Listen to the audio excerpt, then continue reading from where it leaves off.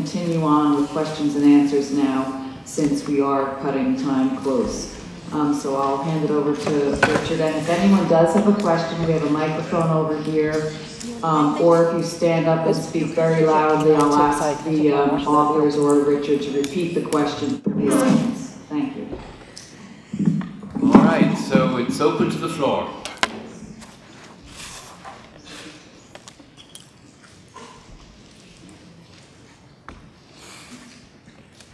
Yes, lady at the. I noted um, the illustrator Mahony had a short life, 43 years. Uh, When did he die? Do you know? Uh, what? Sorry.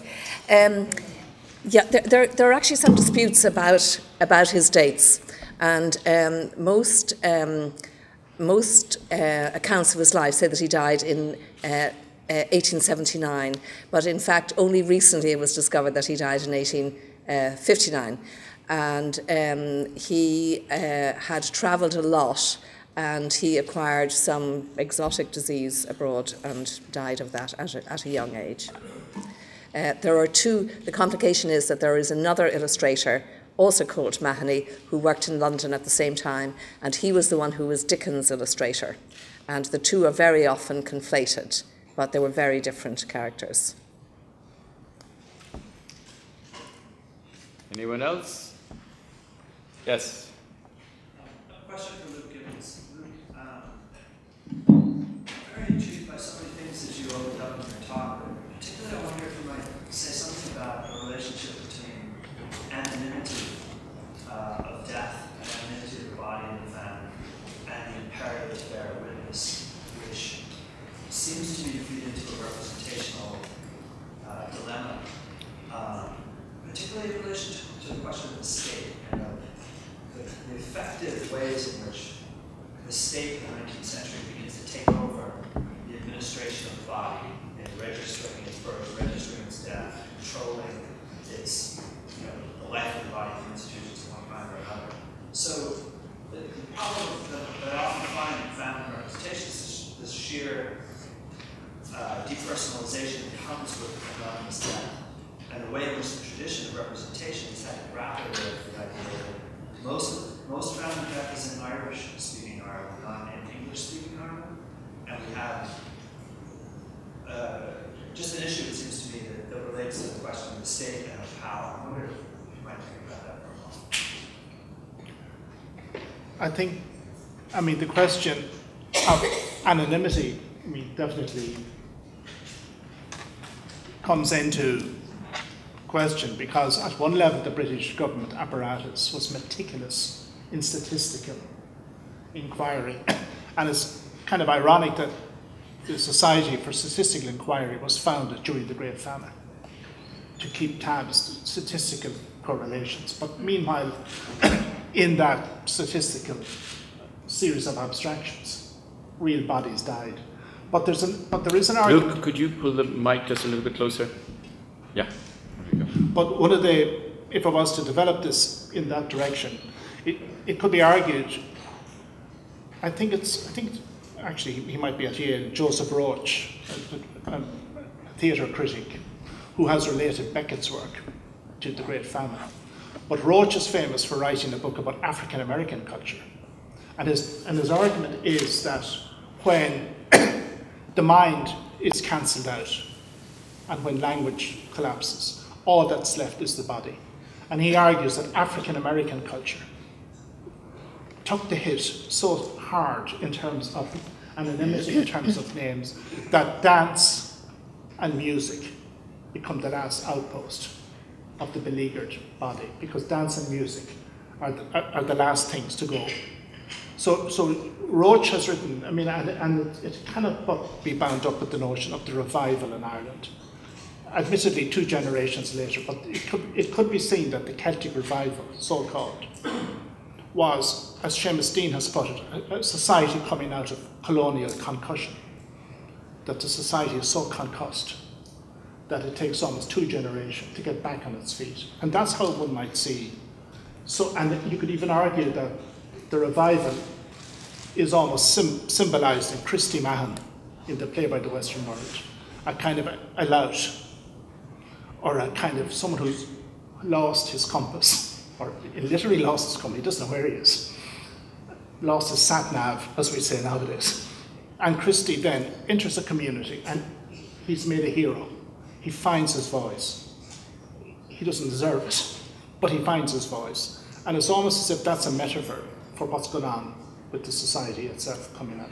Interesting enough, he has to kill his father to do it. So, so one, one of the issues that comes out of this is how then you cannot empathize with anything other than an individual or a face. And if the face is eliminated,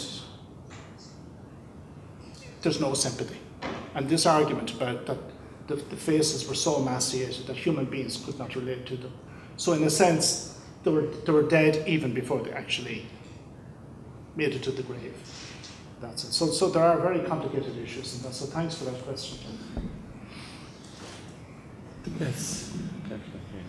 One question that I would ask is, um, what was the bearing on politics of Ireland in after the famine? My name is Austin Stack. I'm from Wethersfield, Connecticut, and uh, the history of the uh, family goes way back to when the politics were after the famine, and what were the repercussions of the politics after the famine?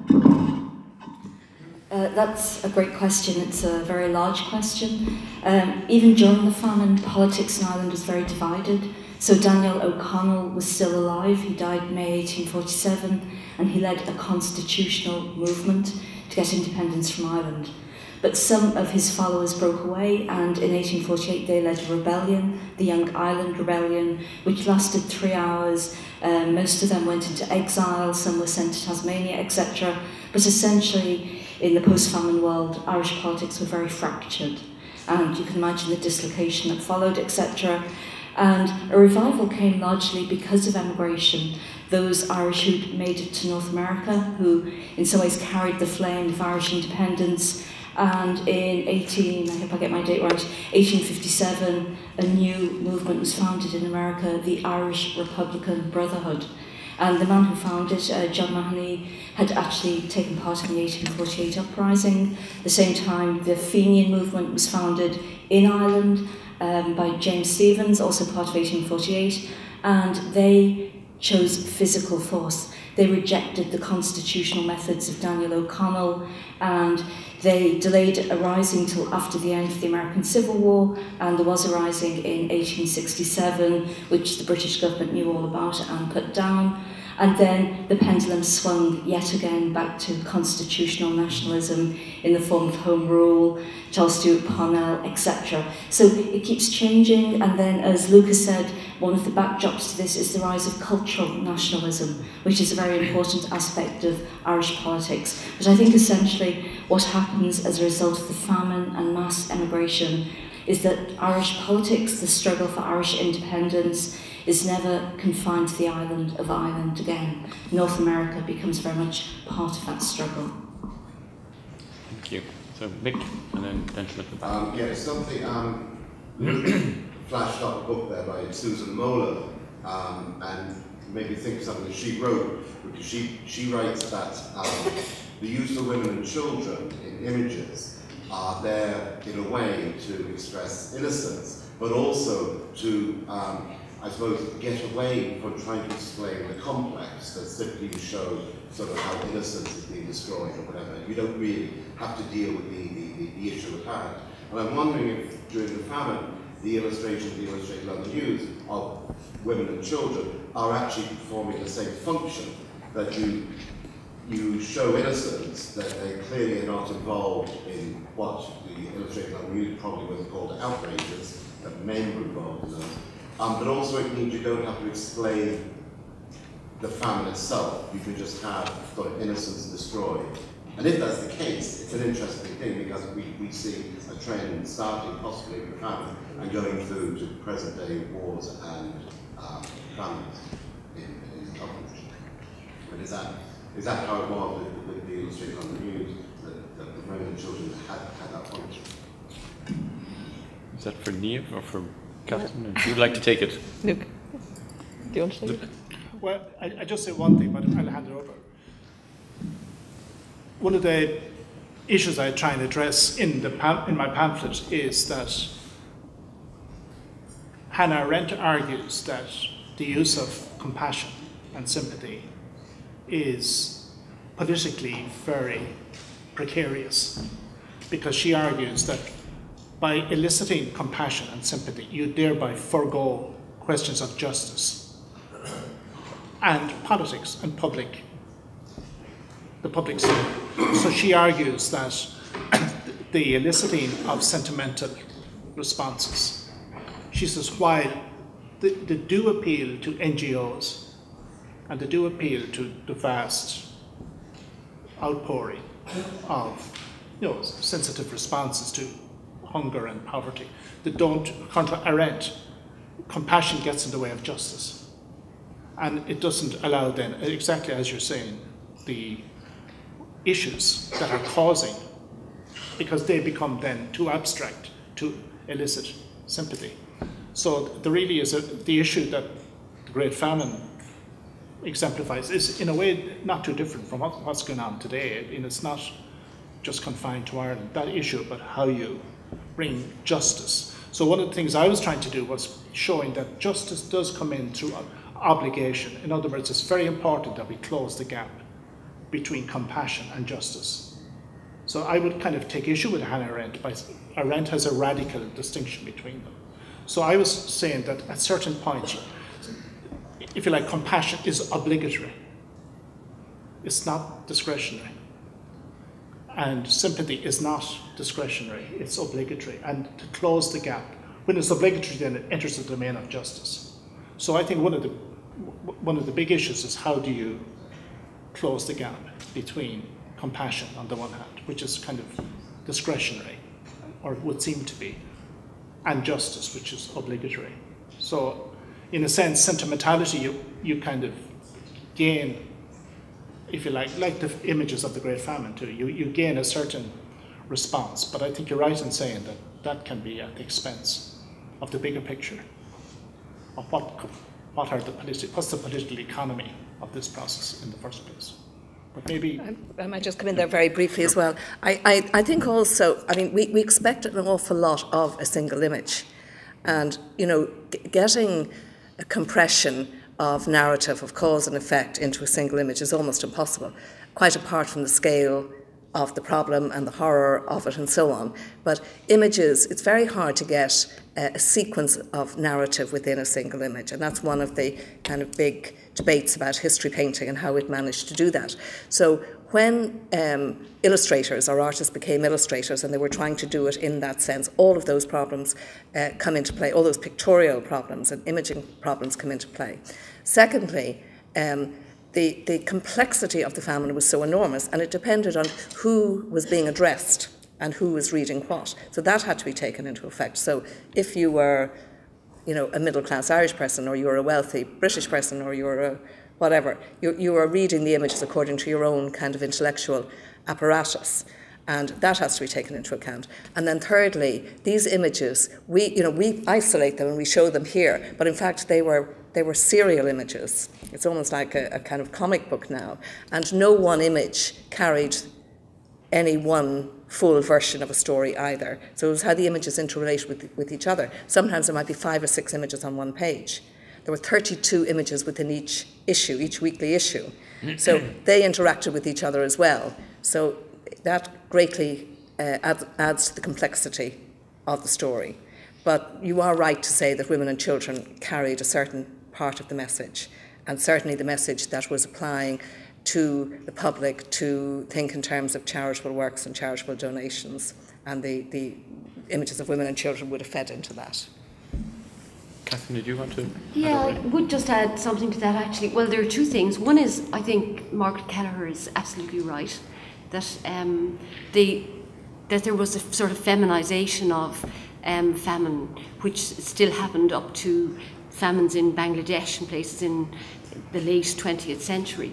But I think another one that we have to really not put aside is the convention, conventions within art, and that is very much about men making art and women being therefore the symbolic carriers of all the things that men made art about. I mean, women were even the landscape at times.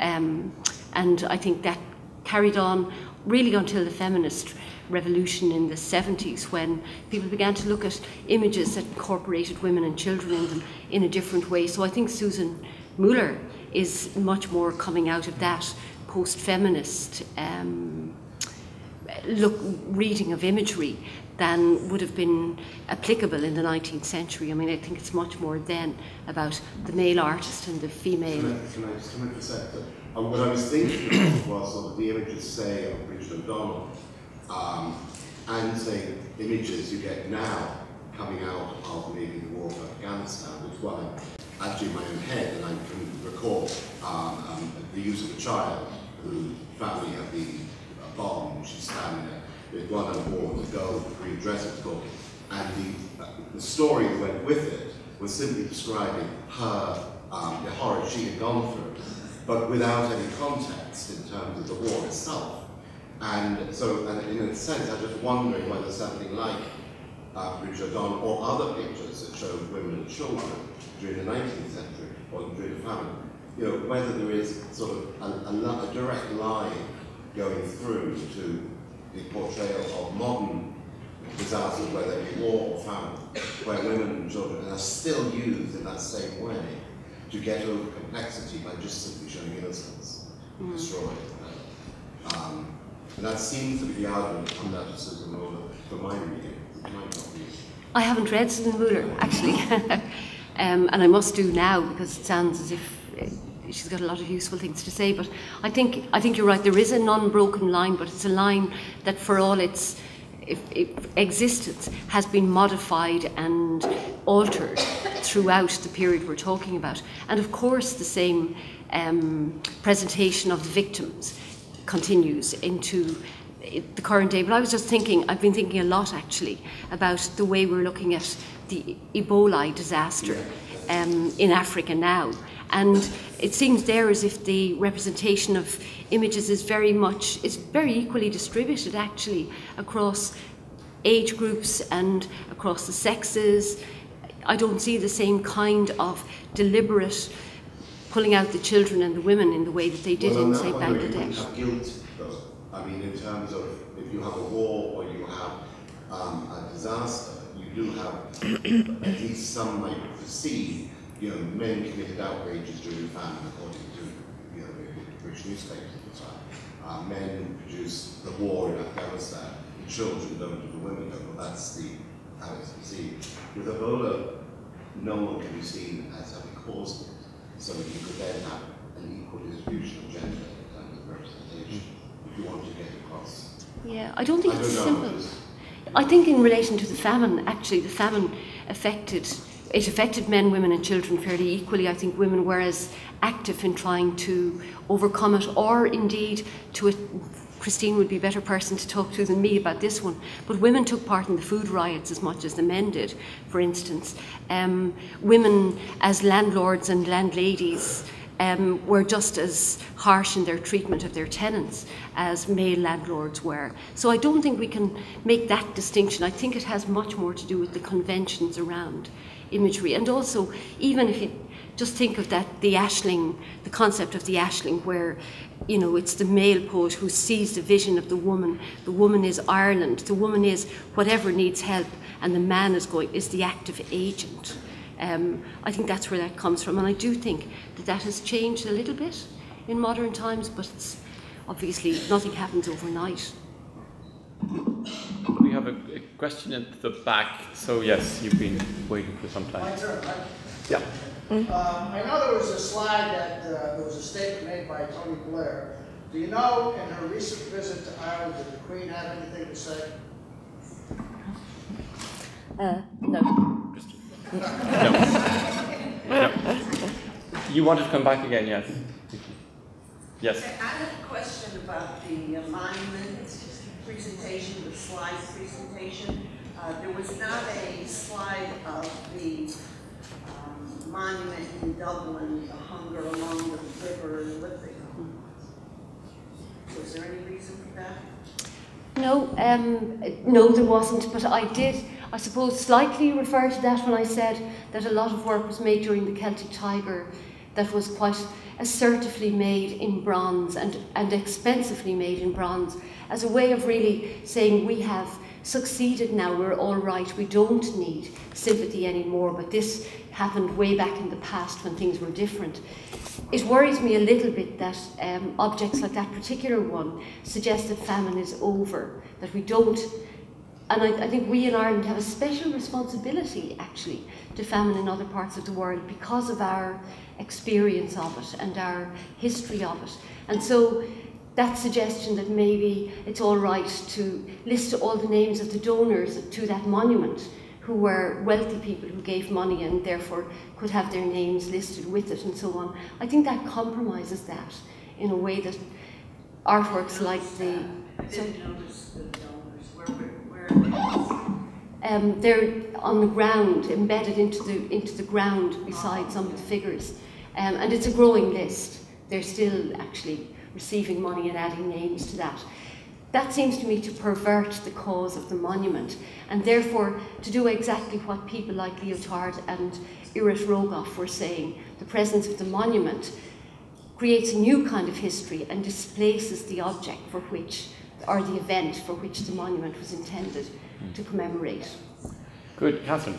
Yes, Catherine Chan. First, an observation. Um, Niamh's presentation, particularly the Illustrated London News, uh, it was very interesting to me because my research on Boston's reaction to the famine, I found that the, uh, the Illustrated London News, plus the books of Elihu Burritt, was what triggered the Brahmin uh, segment of the population in Boston to get into uh, efforts to raise money and send food to Ireland, which they did in the spring of 1847. So it's a very a good illustration of how that worked on this side of the Atlantic. But my, um, my uh, question, my problem has to do with uh, what has been the impact on Irish America and Irish Americans about this rediscovery of the famine and uh, the famine experience that began in the 1990s. And how do we prevent that kind of rediscovery of the awful misery and suffering from becoming a paralyzing event uh, that, that simply continues uh, kind of uh, phobias about, about the British, about the English, and instead move that to a more liberating kind of intellectual experience that will raise the kind of compassion and conscience that, that Luke talked about. How do we do this in public history? I, I do some work in some groups up in the Boston area. Sometimes I just want to tear my hair out because I just hear the same things over and over without any of the new information making much of an impact. It kind of becomes a bit of ethnic I think, mm. to, to focus on the family. And I know Richard's written a little bit about this problem. And, and I think the French philosopher Paul Give us any hints of how to approach this. But I let our four speakers do, do that. Anybody want to? No, I, I would say one thing, Catherine, and that has to do with the internationalism hmm. of the Great Famine. I think it's crucial to, I mean, Christopher Lasch wrote a book about the United States called The Culture of Narcissism. But there is a danger too in some Irish versions of uh, some Irish versions of culture of cultures of narcissism that the Irish tend to think of themselves and themselves only. And what, as the saying goes, what can they know of Ireland who only Ireland know? And I think that really one of the good things that has come out of the commemorations of the Great Famine is to open up the whole question, not just of Ireland in the 1840s, but the role of Ireland within the wider world system, and indeed to raise questions about this. Come back to what Michael Foley was talking about. There are the causes, the the, the catalysts, the the wider picture about the, and I think when Mary Robinson linked up her commemoration of the Great Famine to famine in Africa and tried to say, and I think it's called the historical duty argument, that one of, one of the ways you can do justice to the past is by doing justice in the present and to think of these issues as contemporary issues, not simply. And I think that's what the, the Great Hunger Museum, by bringing images into line with decades, and it, it doesn't just show the 1840s or 50s, and it brings representations of the famine right up to the present. I think, th- I think that is really an important.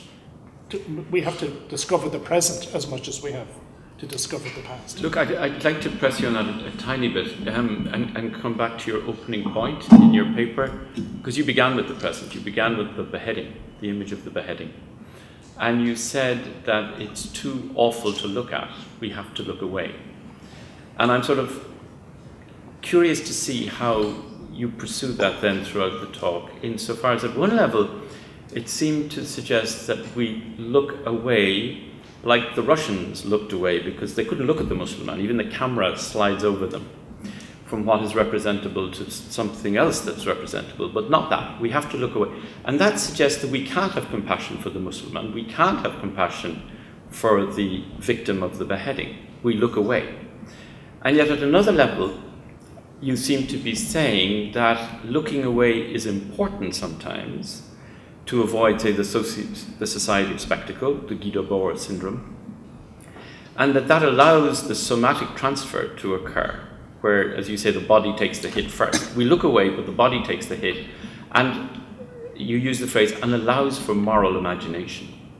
In other words, at some level, you seem to be saying that by not looking at times, right, that there's a limit to the visible. Mm-hmm. We, the body does some work of embarrassment and shame, that allows space for moral imagination and justice rather than it being too crowded by compassion. But I'm just interested to see how you tease that out, starting with the beheading and what do we do in terms of looking appropriately? I mean, in the wider argument, which I hmm. developed in the pamphlet, in a way I try to bring out that the, the visible is often best served by a kind of withholding. Hmm. The image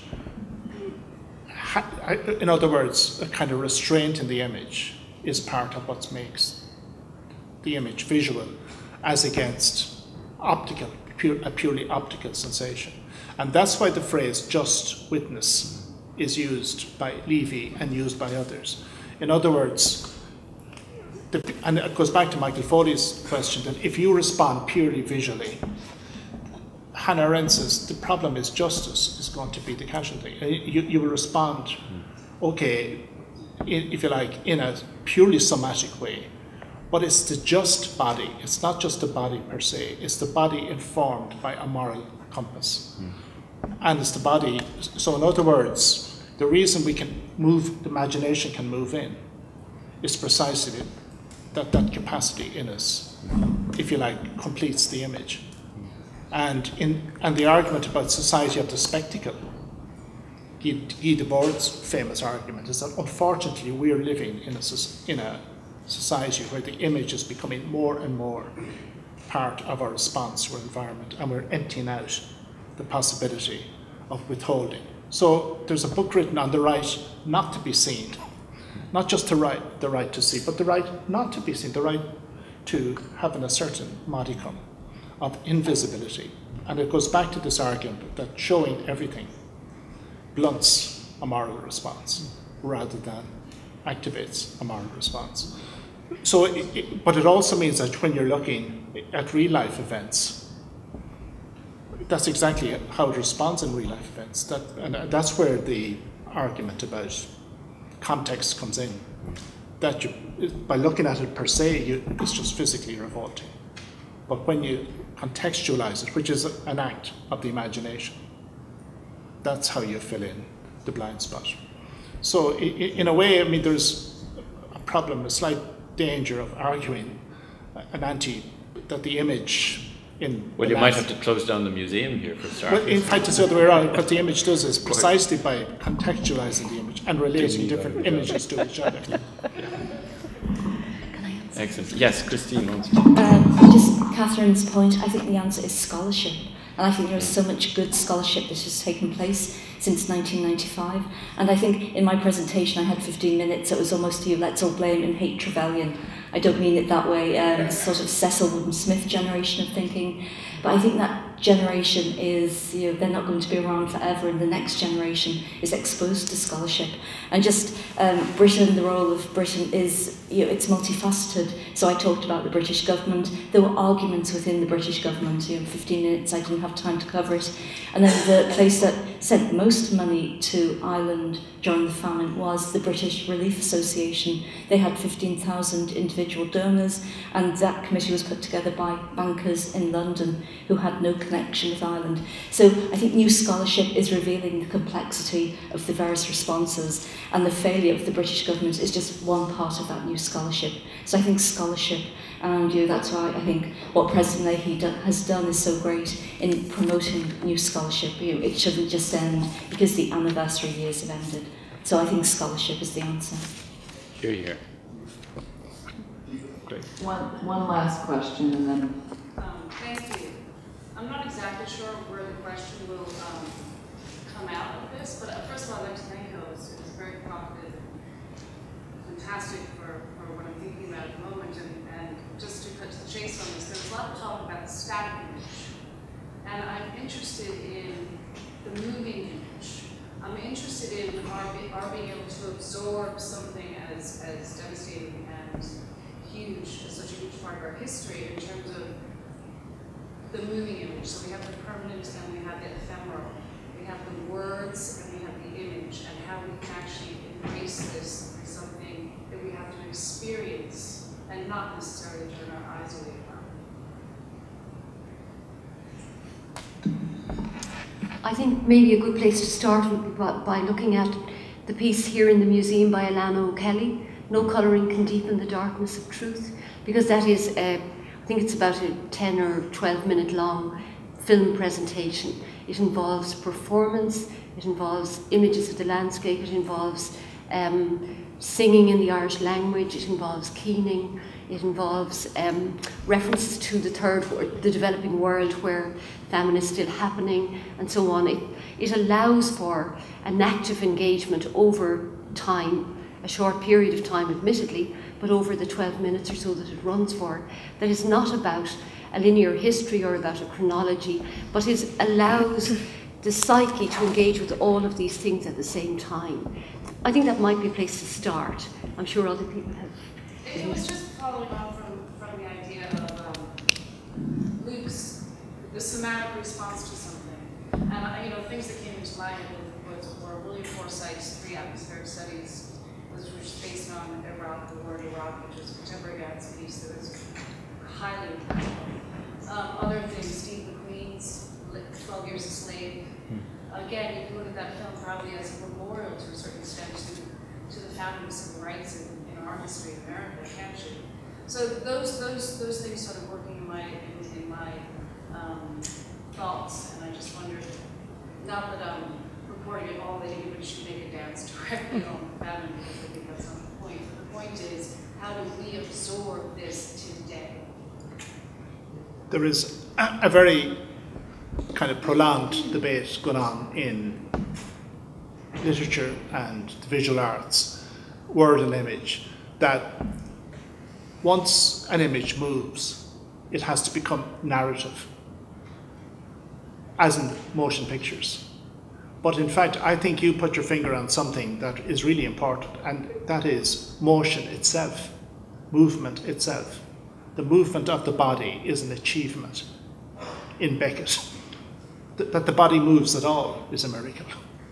And what the idea that restoring motion and rhythm and tone and eloquence to the body through dance, through not just the verbal forms of theatre, but through what might be called performance, performativity. It could be argued that the Irish body wasn't just lacking in sexuality, it was lacking in performativity of the kind that lets the body do the talking. In fact, early theories of acting in the Abbey Theatre we're constantly drawing attention to the fact that the words are doing all the work and the body is fretting in the shadow of, of the language. So I think it, what you're saying is really important, and it, that's what's remarkable about Steve McQueen's work. The body becomes a kind of an extra form of dialogue, and the body itself is trying to say things that cannot be said in speech. So I think, in one sense, perf- bringing performance back into Irish culture, not theatre per se, because theatre will have words, will have narrative, will have, but bringing dance, bringing performance. And I'm saying it to you, Jean Butler, because you're one of the, the people who have done most to actually push the boat out on this. So thanks for that. Thank you. And for those who have stuck with us, um, I'm going to fly through our database presentation, which I think you'll enjoy. Uh, several people to thank for this project, starting with Connor Kenny and his team at Kenny's in Galway for sourcing these works for us. We have the hard copy volumes and they performed the first initial digitization phase for us. Secondly, many thanks and sincere gratitude go to Mary Glynn of the Information Systems Department at QU, who's here today, who worked tire tirelessly and with always a smile um, for many hours to bring this database to life. She, along with Niamh O'Sullivan, the museum's curator, deserve my personal and professional gratitude for a job well done. So thank you both. Um, as I mentioned, this is these are the publications that we have in our collection. We have most 1845 to 52 covered. We are missing one or two volumes, which we are continuing to look for. Um, and the 1845 to 52 of what we have are all digitized and in the database. Um, we have, we also own pre-45 and post-52 documents that are not yet digitized, but we will continue to add them to the database um, as we go along. Uh, the functions of the database, and I'll show just a quick demonstration and you'll see the search and the browse in action. Um, you can do it by single keyword, multiple keywords, multiple keywords using AND or, um, and the browse function if you want to browse by publication or by year or by keyword, it's all possible. Um, again, the timeline for completion is the, the end of this year, um, and it will be available free to scholars, researchers, and the public, which we're um, very happy about. So here, if we go through a few sample searches, oh, I forgot I have it right here. Um, if we start with uh, a name, Russell, you see in the yellow box under search, it, the search results show that there's 102 results with the word or the name Russell in the collection. So if we go to the next one, we pick on one of the articles that has Russell. It's the Pictorial Times, a streetcar, a street door at in Tarmans. And so the text in the OCR source is the text, the actual text of the um, article. And then if we click on the link, here's the image of the article that comes up. Another, and then the keywords, we picked Russell, but if you put in any of these other search words, Irish, children, livestock, Great Famine, Ireland, it would, it would also bring up that article along with others with those keywords. If we pick a place, we're going to search Cork. Um, we see that there are over 200 results uh, with this in its search. And if we pick Scalpeen, a thing, uh, we see that there are 17 um, results. And clicking on one of the results for Scalpeen, there's an article that involves the work, the workhouse in Clifden. And so here's an image of that. If we combine keywords, ship and coffin, uh, we find 10 results. And if we click on one of them, the Illustrated London News, the depopulation of Ireland emigration vessel between the decks, and here's the image connected with that article. And if we want a really broad search for those who are not uh, re real researchers or like me, more um, you know elementary in my um, research skills, The type in Ireland, you see we have more than a thousand results. So you can, we wanted to show that very broad research uh, or you can narrow it down with advanced words as well. So if we click on Ireland, here is one of um, Relief for Ireland in the Pictorial Times. Here's an image of that. And then here is the OCR um, for an article that's text-based only. Uh, a crisis is at hand in Ireland. And then here is the image of the actual article. So the image is the text um, as it appears in the paper. And then these three screens show, if you browse Ireland's Great Hunger Museum in the upper left, you see the list of publications, Punch, uh, we have a set of repeal cartoons, Illustrated London News, and, and the two others. In the middle, we, well, let's say we pick Punch, and we clicked on Punch, the years are listed. Um, and then let's say we pick 1849, and we get this screen, and it shows all the phrases and the words um, that appear in the articles in 1849, so you can then search by what you're looking for that way. So um, this will be available, uh, and when it is, it's accessible through the museum's website at um, ighm.org, and we look forward to a lot more research being generated from the use of this great database. Thank you to the authors, uh, Christine, Niamh, Catherine, and Luke, and also to Richard for a very um, fulfilling and informative panel discussion and long, and to all of you for hanging in there. So thank you very much.